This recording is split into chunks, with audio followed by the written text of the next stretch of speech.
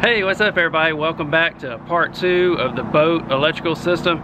I'm pretty pumped up today because I finally got it done. It's kind of been a long process, a lot of holes to drill, things like that, but it wasn't too bad. Let me show you what all I did here. All right, as you know, I did have the outlet put in in part one. I do have the cord going. You will need an adapter to hook up to a regular house outlet, 15 amp. I'll put that in the in the description down below. I have it hooked up to the generator right now, so that's the noise you hear. All right, guys, and on the inside, I got a lot of wires going everywhere because I'm doing DC also at the same time. But let's get a little bit closer here. You can see my AC panel here. Let's see if I can zoom in.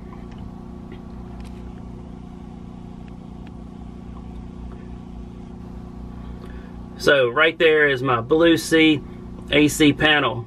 The very top one is the circuit breaker that you're supposed to test monthly. The next one is the main 30 amp power coming in. I did cabin outlets. I'll show you that one. I did battery charger. So what that is is another outlet I put in so I can charge my batteries. I am going to have an inverter in here. And I put in that 30 amp plug also for an air conditioner. So I added those two 30 amp plugs. Now you won't be able to charge the inverter and run an air conditioner wide open without flipping the breaker. On the back side here, zoom out, you can't see it, but I put a galvanic isolator. So back there in the very back, there's the shore power coming in it comes in from the back.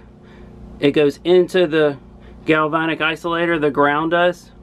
And then that ground goes back to my panel here. So before going into my panel, I'm running the ground into a galvanic isolator. And what that does is if I'm hooked up to shore power, it prevents my boat from getting any grounds from any other boats. If you can see right here, I did put me a new post right here. This is where all my grounds are going.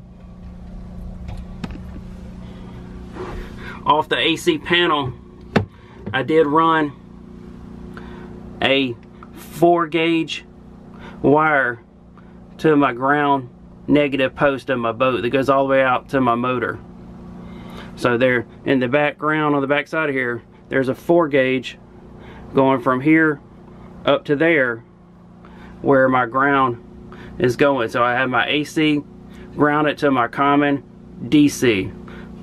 So what I did is I ran a two gauge wire, a two aught wire, excuse me, two zero, you know, zero zero two aught is going from that grounded post up here, right there, and it goes all the way around to the back of the boat. I ran this two gauge all the way around, and back here is the main grounding of the actual boat. So you can see right there, that's where the main motor grounds are. And there's the positive. So I ran that 2 aught back to here so I can ground everything. Because not only do my does my AC need to be grounded to the common, but also a lot of my DC components. You can see in here, let's see if I can get it, but right there, that's where all my things are grounded also. And the big, the big black wire right here, that runs up to that post I just showed you. So that way everything's grounded, my AC and my DC, all shares the ground. All right, and then on the outlets, what I did, I took all these doors off and stuff so I could fit up in here. So on the outlets, I have a, a GFC outlet right here with an outdoor weatherproof box. I mounted it up high and I came out of the hole. And what I'm gonna do there is have a strip surge that I'm gonna put probably up over here where I can charge all my components. I can hook up a coffee maker. I'll have a bunch of outlets right here. And to me, this is a good spot right here where I can do a lot of charging phones, batteries, things like that and it won't be the way. Now what I did is I ran this 10 gauge anchor or Ancor wire. I haven't sealed, I haven't got it all strapped up yet, but here's the wire right here. It's this 10 gauge wire. So I ran it from around there, ran it under, and I came out over here. This is my starter battery. It came with the boat. And what I did is I put a panel here. You can see another GFCI outlet. And what I'm gonna do with this one is I'm going to mount me a battery charger somewhere and then I can charge up my two batteries and plug it in to this. So whenever I'm hooked up to shore power, it'll automatically charge my batteries.